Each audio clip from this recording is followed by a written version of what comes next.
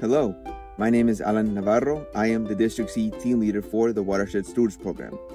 As a team leader, I wear a lot of different hats. My job varies on a day to day basis.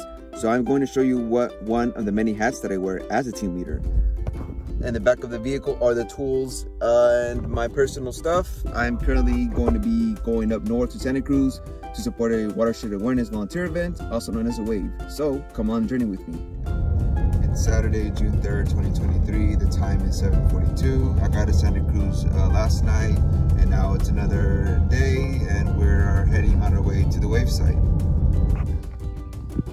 We just got to the site and now we're gonna set up the canopy and the check-in table. We just finished setting up. We have the waiver forms here. We have all the snacks here the canopy and the WSP sign so come on out volunteers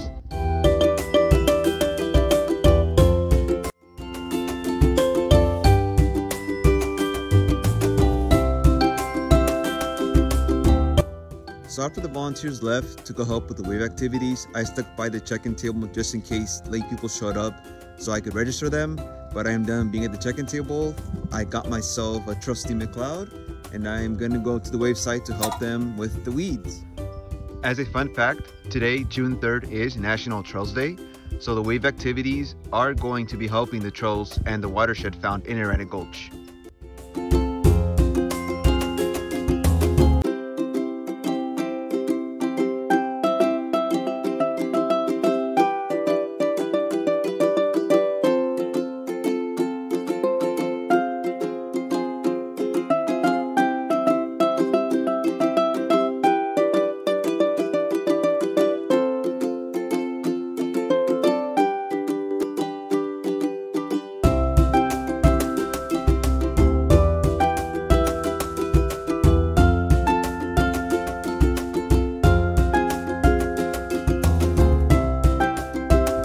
Volunteers help to remove cotoneaster, French broom, and some really nasty grass species.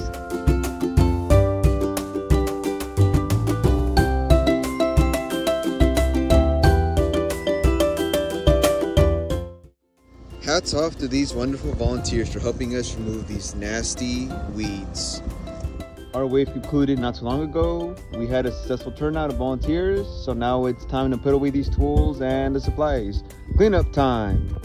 So after we packed up the truck with all the supplies and tools, uh, I ended up getting lunch in Santa Cruz and I'm back to where I was staying at. More often than not, actually, core members are willing to let you stay at their place. So that's a pretty nice on their part, but I'm packed up and I'm about to head back to San Luis Obispo after a, a very fun and rewarding day.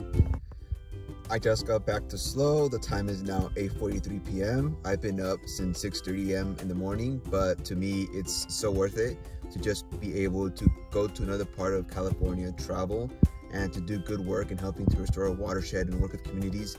To me, it's really meaningful. After seeing this wave experience as a team leader, I really hope that you have a better idea of what one of the many things that team leaders do for the Watershed Stewards program. If you're interested in applying, I really hope that you're willing to take on this position because it's a very fun and rewarding one.